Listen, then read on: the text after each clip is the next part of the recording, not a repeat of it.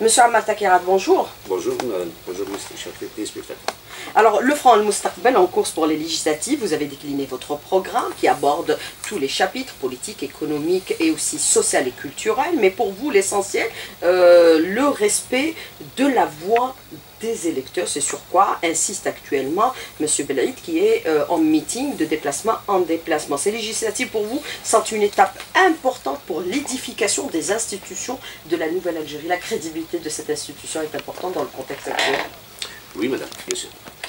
Euh, vous savez, madame, c'est nous, au fond de Sarbel, numéro 6, nous pensons que c'est une étape très très importante. D'ailleurs, c'est une étape qu'on ne doit pas rater. Nous, au fond de Sarbel, c'est-à-dire, déjà, nos slogans, c'est-à-dire, voter l'avenir. Ça, c'est la première des choses.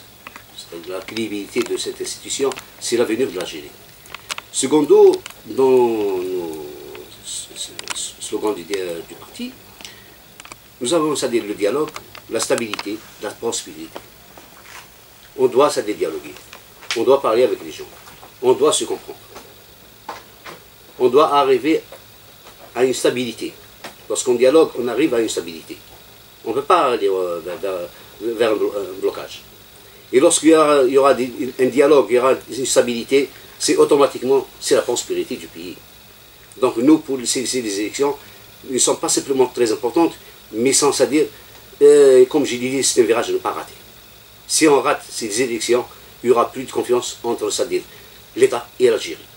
L'État et son peuple, pardon. Aujourd'hui, c'est lorsque le docteur Abdelaziz Blaid, président du parti Front Moussaoud, là où il passe, il parle de l'avenir de l'Algérie.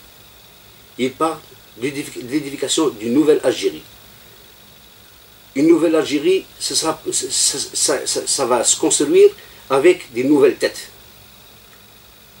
Personnellement, je souhaiterais, c'est-à-dire que les partis qui sont passés par euh, les chefs du gouvernement, les, ministres, les ministres, ne sont pas irréélus, parce qu'on on, sait leurs limites, on connaît leurs limites. Maintenant, c'est-à-dire, arriver à, créer une nouvelle Algérie, c'est avec des, des nouveaux partis, avec des nouvelles têtes. Voilà. Je souhaiterais, c'est-à-dire que le citoyen, le 12 juin 2012 votera pour les nouvelles têtes, nouvelles, nouveaux partis. Nous, nous n'avons jamais géré. Jamais. Je vous donne juste un exemple. Le docteur Abdelaziz Blade, qui est avocat aussi, qui est médecin et avocat aussi, il était le président de l'UNIA. Lorsqu'il était président de l'UNIA, il a géré les étudiants. Pour gérer les étudiants, c'est n'est pas facile, madame. Mais il a su comment gérer les étudiants. Donc c'est une personne qui est capable qui est capable de gérer, qui est capable de, de voir l'avenir. Quand vous parlez de capable de gérer, capable aussi euh, de voir l'avenir, est-ce qu'on peut considérer qu'au niveau du Front le Mustaqbel, vous vous projetez pour être à la tête du gouvernement, le même principe que celui du MSP où M. Mohori se voit pratiquement le futur euh, chef du gouvernement? Non, madame, pardon, je m'excuse sur ça. Euh, la personne que vous avez, nommée, il, a dit que je crois, si je ne me trompe pas, et avec tous mes excuses, je, me trompe. Il a dit que je serai. Non, non, Inch'Allah, pourquoi pas, euh, si Dieu, c'est-à-dire, Inch'Allah, s'il va nous accorder ça, avec l'aide des citoyens, bien sûr, qui vont voter numéro 6 le 12 juin de, 2021. Oui, mais est-ce que vous vous projetez dans cette perspective aujourd'hui Oui, c'est normal, on, travaille pour ça. C'est l'ambition de tous les partis. C'est tout à fait normal, c'est tout, à fait normal. Comme le docteur Blaise il s'est présenté aux élections présidentielles. C'est tout à fait normal. Un parti politique, madame, c'est un parti qui, chaque parti politique qui espère être dans, la gouvernance du pays c'est un parti qui ne pense pas à ça, ce n'est pas un parti politique. Donc euh, pour nous, c'est important d'avancer, c'est important de gérer le pays. Alors, la construction d'un État fort, pour vous, passe par une législature représentative. C'est important aujourd'hui, dans le contexte actuel, de choisir les bons élus pour être représentés au niveau du Parlement, pour éviter les dérapages qu'on a connus par le passé, à savoir l'achat des sièges euh, c'est pour ça, madame, euh, tout à l'heure, j'ai dit que je souhaiterais que le citoyen, le, 12 euh, janvier 2012, votera pour le, pour le Fonds Mostarbel, numéro 6, qui va construire une nouvelle APN. Vous savez, depuis des années passées, et, il y avait une assemblée populaire, la, la, PN, c'était juste une chambre des affaires, une chambre d'enrichissement des personnes. Maintenant, ça dit nous, pour, pour nous, nos candidats, vont partir, c'est-à-dire s'ils vont gagner, ils vont travailler pour l'Algérie, ils vont travailler pour construire l'Algérie, pas pour s'enrichir. Vous savez, dans notre parti, si je vous permettez, nous sommes un parti jeune qui a été créé en 2012. Et nous sommes aussi un parti de jeunes. Abdelaziz euh, il est jeune aussi, hein? il n'a que 56 ans. Donc, vous savez, aujourd'hui, euh, plus, plus de 70, 65%, ou plus, ils sont déjà dans, dans, dans le cadre du parti. Nous ne euh, sommes pas un, parti des vieux.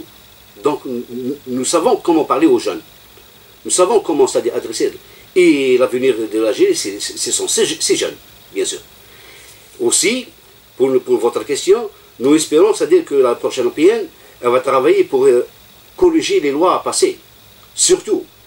Aussi, elle va travailler pour fonder, créer des nouvelles lois qui seront, c'est-à-dire, avec la marche, qui, vont c'est-à-dire marcher avec les désirs du, citoyen. Aussi, pardon, j'ajoute juste un point, aussi, il, faut, il, faudrait que les députés soient des institutions de contrôle de tout. Ce n'est pas simplement, je, je, je, dire, ce, n'est pas simplement la pierre, mais même pour les, pour les, pour les, pour les, pour les élus locaux, et on souhaite que les députés ont toute la liberté de travailler. C'est ça le plus important aussi. Voilà.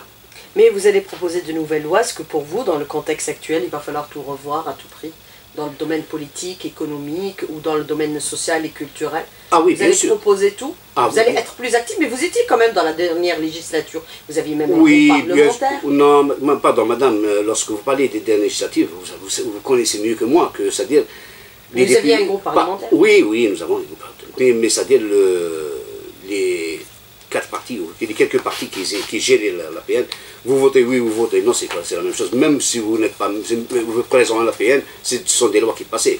Pourquoi aujourd'hui on dit, c'est-à-dire qu'on doit corriger, qu'on doit corriger? Vous savez, c'est-à-dire il y avait des lois qui passaient parce qu'il y avait la majorité d'un parti ou deux. Donc, c'est-à-dire, ils passaient ce qu'ils voulaient. C'est pour ça qu'aujourd'hui, on souhaiterait qu'une APN qui serait votée par les citoyens et pour un parti qui soit vraiment représentatif et qui soit vraiment pour la, construction de la génie, qui forme au cerveau. Alors, euh, dans votre objectif aujourd'hui, c'est d'éradiquer un peu les retombées des pratiques des 20 ans de corruption et entraver le développement euh, réel euh, du pays. La lutte contre la corruption va figurer parmi vos priorités aujourd'hui. L'intégrité du député, c'est une exigence au niveau de votre parti El Moustaqbel. Ah oui, ça, il n'y a aucune discussion. Notre député doit être intègre il doit être contrôlé, il doit contrôler, il doit être contrôlé, il est contrôlé par le parti. C'est ce que vous avez fait ah avant, bien sûr, de choisir ah les candidatures. Ah oui, ah oui, Vous voyez nos, députés, personne n'a et aucun de nos députés n'a eu des problèmes, de justice. Dieu merci. Et cela aussi, c'est l'éducation du parti. C'est euh, voilà. Alors, euh, Et on va, on va combattre la, corruption, non seulement, c'est-à-dire au niveau de la PN, mais dans toutes les institutions de l'État. Parce que c'est aujourd'hui, la, corruption, elle n'est pas simplement, c'est-à-dire dans, dans, le pays, elle dans tous les, dans tous les secteurs. Donc, mais pour combattre la, corruption, il faut donner aussi les moyens à des gens, il faut donner une liberté d'expression, il faut donner, c'est-à-dire une, euh, une franchise de, euh, de, parler des choses. Il faut, il faut aussi aider le, les les médias pour parler, ça ne veut pas dire qu'on va dire que quelqu'un a, Nous avons du doute, par exemple. Hein. Nous avons du doute que Là, la justice doit ouvrir une, enquête. Est-ce que vrai ou faux? Parce que ça dit, ça dit maintenant la corruption. Comment combattre la corruption? Même s'il y a un doute, même s'il y a un doute, on doit ouvrir une enquête. On doit savoir si c'est vrai ou faux. Si c'est si vrai, on condamne. Si c'est faux, on ne demande pardon à la personne. C'est pas. Mais الشك كاين الله غالب en préservant bien sûr la présomption d'innocence. Alors, autre question que je voudrais aborder avec vous, à partir du moment où vous parlez de l'intégrité de vos représentants à la prochaine euh, législature, et ce, bien sûr, euh, euh, conformément à la volonté du parti, les différentes déclarations de M. Belaïd en cours actuellement et pour les législatives, qui est en train de sillonner le pays, qui est en train aussi d'organiser des conférences de presse, des rencontres médias, et ce sont ces déclarations qui reviennent sans cesse. Est-ce qu'on peut considérer que vous avez envisagé éventuellement une charte d'éthique et de déontologie à laquelle pourraient souscrire les, vos candidats et dans le cas où ils ne respecteraient pas bien sûr là, euh, ces principes, ils pourraient être euh, renvoyés du parti, euh, du parti ou exclus du parti. Est-ce que vous envisagez cet aspect pour vos prochains députés? Vous savez, tout, parti qui se respecte doit contrôler ses, élus, que ce soit à la PN ou à la PC ou à la PB. Vous avez une charte? Nous, nous avons, c'est-à-dire, oui, nous avons, c'est-à-dire, un certain niveau de parti qui interdit à tous nos élus de travailler pour, pour. L'enrichissement personnel. L'enrichissement personnel ou les interventions, cadre Voilà. Donc, c'est-à-dire, pour nous, on doit, euh, plutôt, euh, oui, pour nous, on doit surveiller nos élus. Quel que soit, quel que soit le rang, la PN ou la PV ou la PC. C'est ça. Aussi, Abdelaziz Dieu merci, il a géré, comme j'ai dit tout à l'heure, il a géré, c'est-à-dire euh, l'INEA. Il a géré l'INEA pendant des années. Alhamdoulilah, le Lyon, personne n'était du moins euh, sur lui. Malgré qu'on a essayé de lui faire des problèmes. Parce qu'il n'était pas d'accord avec, certains, avec dans ce système. Malgré ça, mais Dieu merci, il sorti indemne. Alors, euh, monsieur, euh, monsieur euh, Ahmar Takerat, moi je voudrais revenir avec vous, bien sûr, vous, vous expliquer votre participation par le fait qu'aujourd'hui, qu'il faut impérativement se mobiliser pour faire face aux menaces et complots visant à déstabiliser le pays. C'est ce que vous répétez sans arrêt, puisque aujourd'hui vous parlez de menaces au niveau, par exemple, interne ou externe, puisque nos frontières sont en feu. Monsieur Takerat. Oui, les menaces contre l'Algérie sont, sont, visibles. Celui qui dit contraire, euh, soit il est avec, soit il ne veut pas le dire. Lorsqu'on voit ça, les problèmes qui, sont à notre frontière de l'Ouest, c'est très grave. Un pays, un pays voisin qui, se met ami avec les sionistes. Je m'excuse, madame, c'est. Et pourtant, je ne parle pas du peuple marocain, je parle de Marseille. Il y a une différence parce que le peuple marocain, c'est un peuple frère.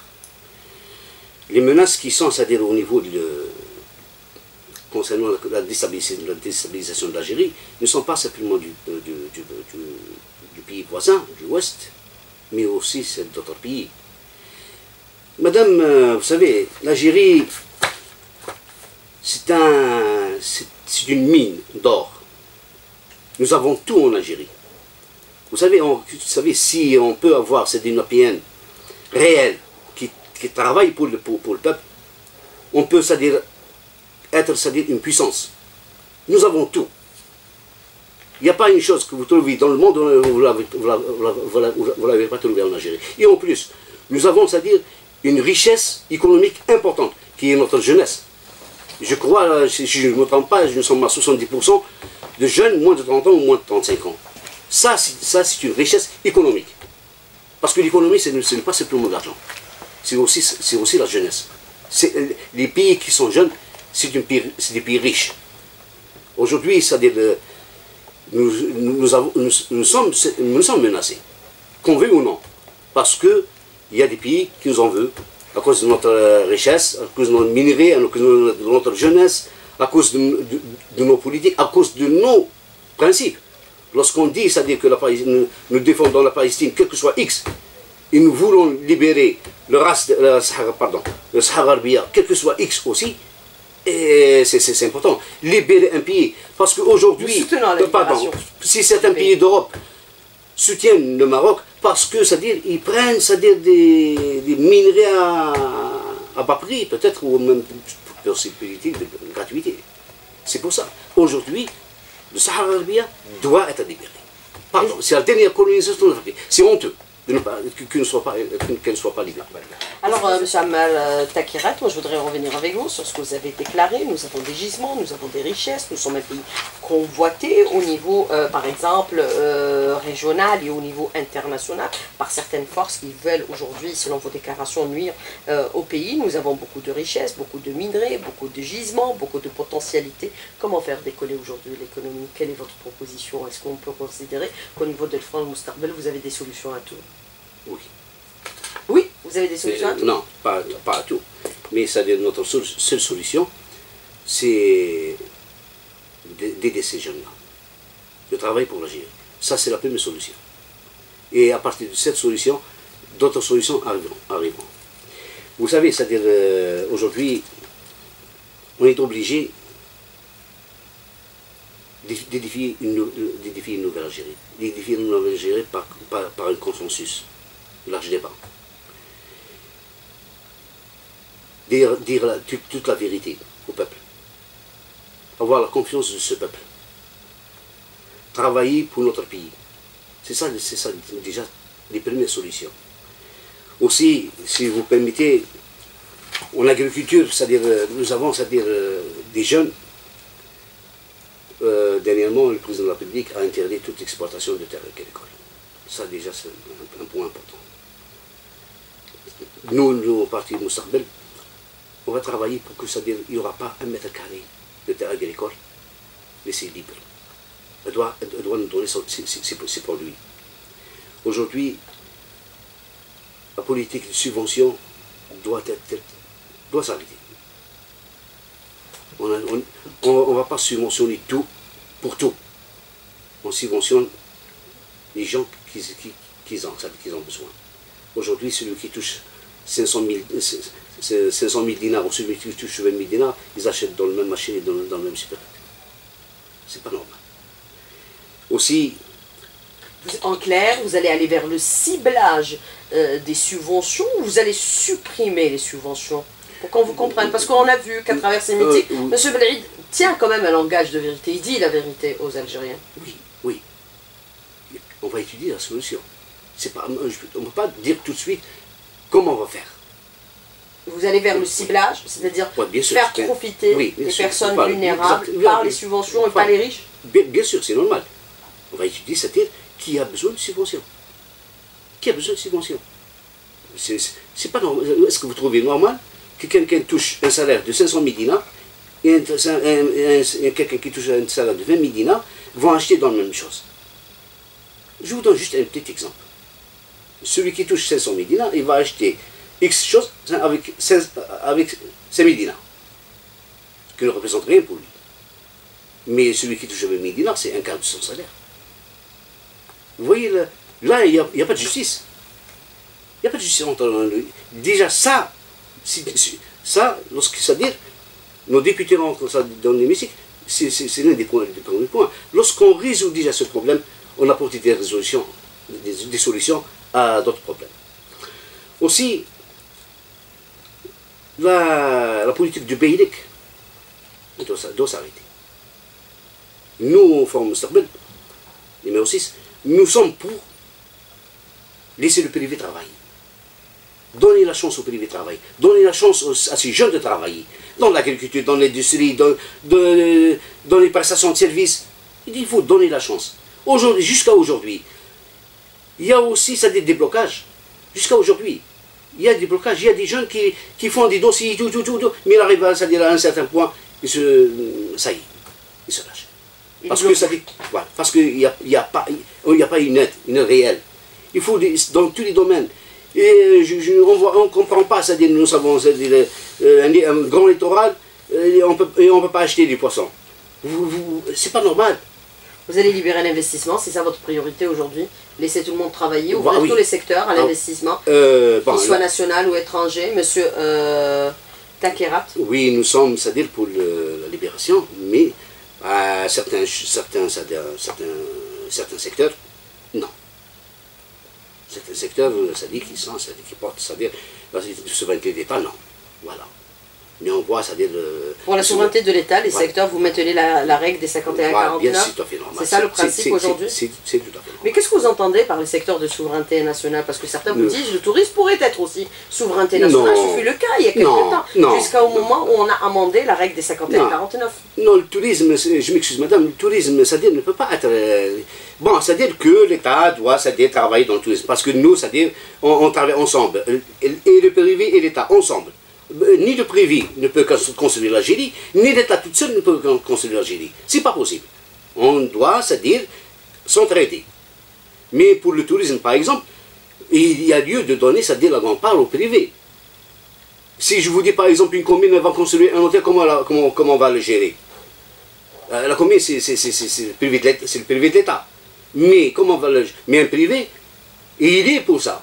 On doit aujourd'hui libérer surtout le tourisme, vous m'avez rappelé, surtout le tourisme, nous avons les deux pays voisins, il ne vit que euh, la, grande majorité de, de- le budget, c'est du tourisme.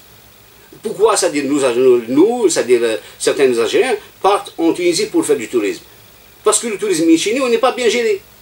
Euh, Parce que chez nous, c'est-à-dire vous entrez dans un hôtel, c'est comme si vous, vous entrez, je ne sais pas, dans un palace. Pour une chambre. C'est- très, cher. Là, c'est-à-dire, il faut, le tourisme, il faut le donner au privé. Parce que lorsque, madame, lorsqu'on donne, c'est-à-dire au- laisser le privé, ça diminue, les prix. il y, a, il y a la concurrence. Nous, on est contre le monopole. Vous voyez, nous, on doit c'est-à-dire donner, donner, laisser libre choix aux, aux- Il fait de la concurrence. De la concurrence qu'on, fait descendre les prix. Alors, euh, il y a un langage de vérité qui est tenu actuellement par M. Abdelaziz Belaïd dans euh, ses meetings. Il parle bien sûr du contexte euh, que nous traversons actuellement sur le plan politique, sur le plan économique, sur le plan social, par rapport bien sûr à la fermeture de certaines euh, entreprises qui ont subi euh, de plein fouet, euh, bien sûr, euh, cette pandémie euh, du Covid-19 qui a dû euh, forcer euh, à la fermeture euh, de beaucoup euh, de structures euh, euh, économiques. Est-ce qu'on peut considérer aujourd'hui euh, qu'il va falloir engager, à l'issue bien sûr de ces législatives, un large débat pour régler toutes les questions qui sont pendantes actuellement, que ce soit sur le plan politique pour conforter le franc interne et sur le plan économique? C'est la priorité Oui, vous savez, pour la fermeture des entreprises qui sont en, détresse, là, c'est-à-dire, je, vous, ai dit que, c'est-à-dire, ni le privé ne peut travailler, ne peut construire l'Algérie tout seul, ni l'État. Vous savez, certaines entreprises, je pense, certaines entreprises, euh, il faudrait qu'ils rentrent dans les experts, par action. Pourquoi pas? Un privé entre avec une entreprise nationale. Il, ren- il rentre, c'est-à-dire, par, par des actions. C'est le partenariat public-privé. Oui, oui, bien sûr. Il rentre, c'est-à-dire, il va, il va aider cette n'est pas- on n'est pas au- au- aujourd'hui, on doit, on doit enlever de notre tête que l'État doit tout régler. Je vous ai dit qu'on doit marcher ensemble, et le privé et l'État. Vous allez engager un Oui. dialogue national pour Bien aller sûr, vers une solution sûr, sur le plan politique, pour conforter le franc interne, et sur le plan économique, c'est vos priorités. C'est ma question, monsieur Oui, oui, oui, on devrait dégager. Nous, c'est-à-dire, Hiwar, pardon. Dia- dia- dia- dialogue, stabilité, prospérité. Je, je vous ai expliqué tout à l'heure. C'est ça, votre slogan. Vo- Voilà, nous, nous sommes pour le dialogue pour tous les problèmes. C'est à partir du dialogue qu'on aura une stabilité. Il y a à partir du- Vous allez discuter avec tout le monde? Tout le monde. Nous nous- n'avons pas d'ennemis. En politique, vous savez, je m'excuse madame, en politique, il n'y a pas d'ennemis. Celui qui fait de la vraie politique n'a pas des ennemis. Aujourd'hui, on discute. On discute même avec son propre ennemi. Si, si, pourquoi, pas, pourquoi ne pas discuter? Pourquoi ne pas dialoguer? C'est à partir du dialogue qu'on arrive à, des solutions. Vous voyez, dans les, dans les pays, dans, tous les pays qui, sont en guerre, on revient, on revient à la table. Donc on revient, on revient au dialogue. L'affaire du Mali, lorsque l'Algérie, a réussi à, résoudre, le, problème du Mali, c'est à partir du dialogue. Le problème de la Libye, c'est l'Algérie, c'est-à-dire, euh, nous, nous sommes un pays de dialogue. L'Algérie n'est pas, partie avec des armes, elle est partie avec un dialogue. Vous voyez, c'est ça. Le dialogue, c'est très important. On doit dialoguer avec tout le monde, même avec, même avec son propre ennemi. C'est ça, c'est à partir de là qu'on va ramener des solutions. Et Un consensus est ah, oui, nécessaire. ah oui, bien sûr. C'est comme ça qu'on pourra atteindre le consensus, Oui. régler cette crise politique. Oui. Monsieur oui, Takera oui, bien sûr. Ah, C'est-à-dire, madame, si on dialogue ensemble, on va arriver à une solution. On va arriver à un consensus. C'est tout à fait normal.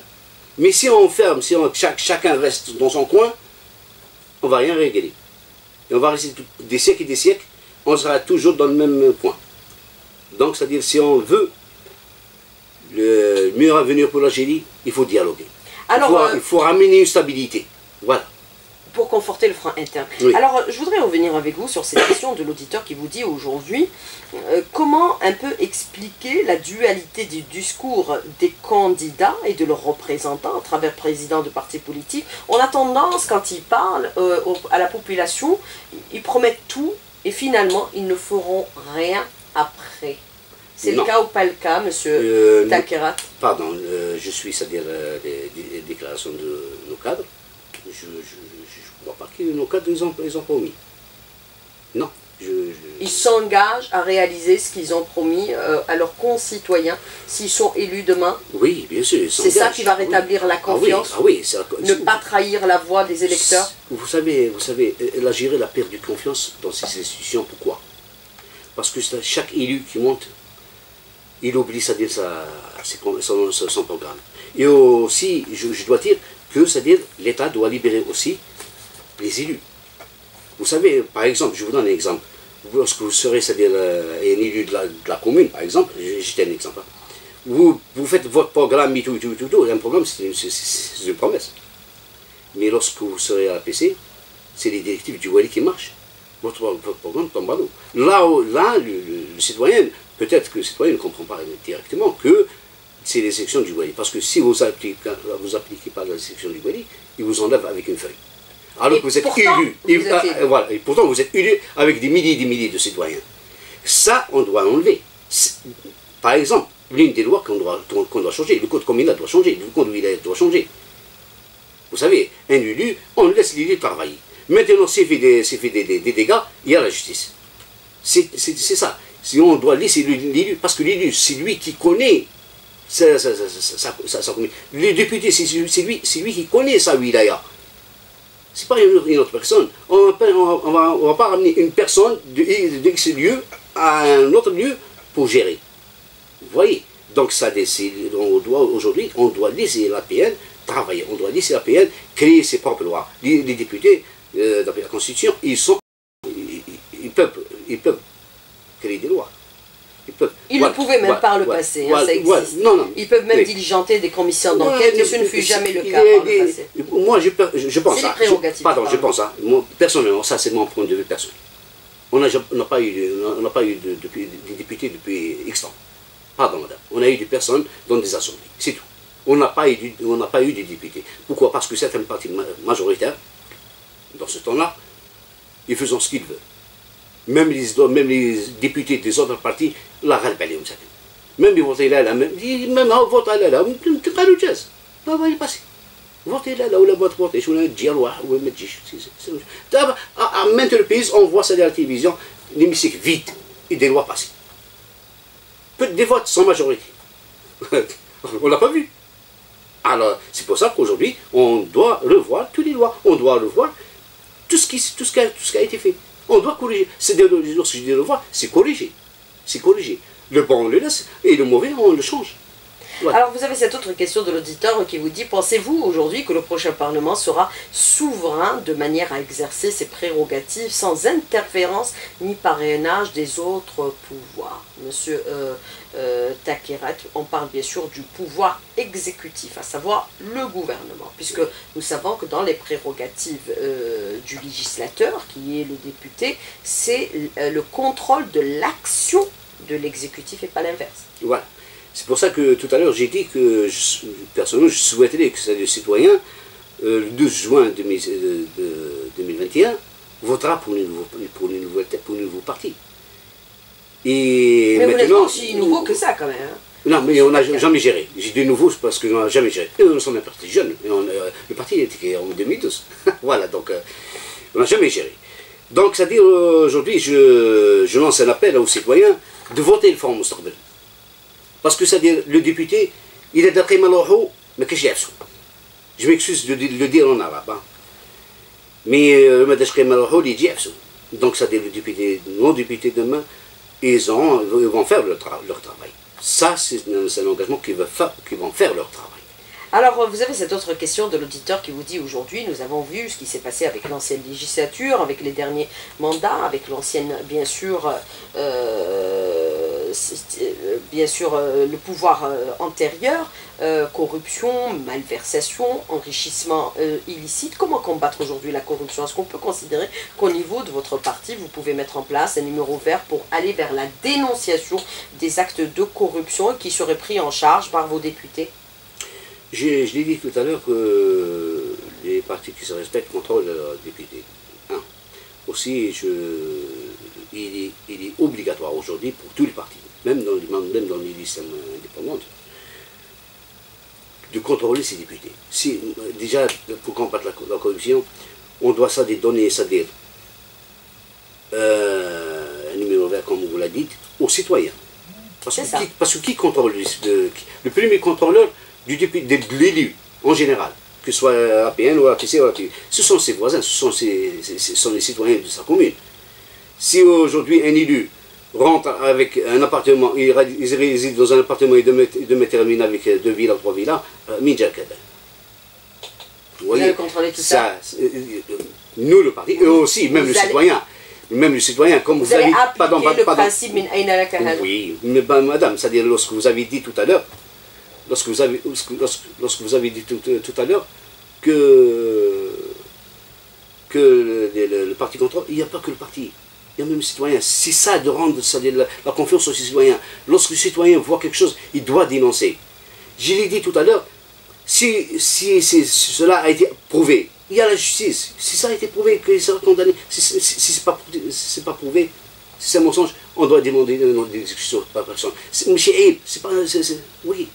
Alors, autre question de l'auditeur qui vous dit aujourd'hui comment faire exploiter nos richesses minières et pétrolières par les Algériens, puisqu'ils sont exploités ailleurs? Voilà. Donc, en concernant les. C'est une question de souveraineté pour le parti de Mostarbel Oui, c'est une question de souveraineté, bien sûr. C'est tout à fait normal. On ne va pas, c'est-à-dire, euh, brader son ou donner à son à n'importe qui. Ça, c'est. Mais il n'est pas, exclu que le, il pas exclu qu'elle soit associée à un privé, associée, associée pour tous les minéraux, associée à des, privés. Euh, dernièrement, c'est-à-dire euh, le président de la République a donné, c'est-à-dire à des jeunes, des petites euh, unités d'exploitation de, l'or au sud. Ça, c'est important. Important. Pourquoi ne pas, ne pas le généraliser dans tous les minerais? Aussi, il y a une chose. Concernant les minerais, il faut faire très attention. Il faut contrôler la gestion, l'exploitation. Il faut tout contrôler. Dans le passé, je crois, euh, je crois que certains minerais ont été. Passons Certains minerais ont été comment Ont été ça débradé comme ça. Alors, euh, autre question de l'auditeur qui vous dit aujourd'hui, euh, on parle d'une situation euh, économique très difficile. Est-ce que vos députés vont faire preuve de solidarité, donner une partie de leur salaire au pays pour soutenir l'économie? Ou alors ils vont dire aux citoyens d'être solidaires et pas à eux, comme ce fut le cas par le passé. Monsieur Takerat ah, Je ne peux pas répondre à cette question maintenant, mais on va le prendre en compte. Je vais la noter. Alors vous avez autre question de l'auditeur par rapport à la corruption, on a parlé du numéro vert, mais il, formule des propositions, pourquoi ne pas instaurer des numéros verts pour dénoncer euh, la corruption? Numéro rouge pour la... Euh, plutôt des numéros, hein, il parle des, des couleurs, numéro rouge pour la corruption, jaune pour la bureaucratie, vert pour favoritisme des entreprises et individus, c'est-à-dire le piston, quand on, que ce soit euh, pour l'embauche, que ce soit pour euh, décrocher par exemple des marchés publics ou autres questions, ou bien sûr euh, des crédits bancaires. C'est une bonne solution on pourrait le mettre en place. Je, félicite ce citoyen, vous, parlez du dialogue, je félicite ce citoyen pour sa... C'est la contribution du citoyen qui fait avancer le pays. Voilà, je félicite ce citoyen pour sa, pour sa proposition. Pourquoi ne pas la prendre en compte? Elle vient d'un citoyen. Ça, c'est aussi le dialogue. Pourquoi, pourquoi ne pas prendre en compte? Il a développé. Et c'est ce que nous souhaitons avec la prochaine législature. Elle, sera, une, elle sera une loi, et, elle sera une loi ou pas par ce citoyen, d'autres citoyens le, le, suivent. Et c'est comme ça qu'on se dans le pays. Euh, de ou qui les chers. C'est à, c'est à partir de ces, de, de- de ces, de ces, de ces- propositions qu'on peut. Ça aussi, c'est du dialogue, Vous allez rester fidèle, euh, bien sûr, aux promesses que vous avez faites, que vous allez faire aux citoyens. Ah oui. Ah, c'est ça qui permettra de ah, rétablir la ah confiance, ah pas trahir sa confiance. Si, si on ne peut pas faire quelque chose... Ne pas le solliciter eh, juste pour voter. Non, non, si on ne peut pas faire quelque chose, demain, on va, on va parler... Parce que vous direz la vérité, vous le direz comment Ah oui, ça c'est juré. La vérité c'est juré. Monsieur Ammar Takirat, merci d'avoir répondu à nos questions et d'avoir été en direct avec nous ce matin dans le studio. Merci beaucoup. Bonne journée, à bientôt, au revoir. Merci.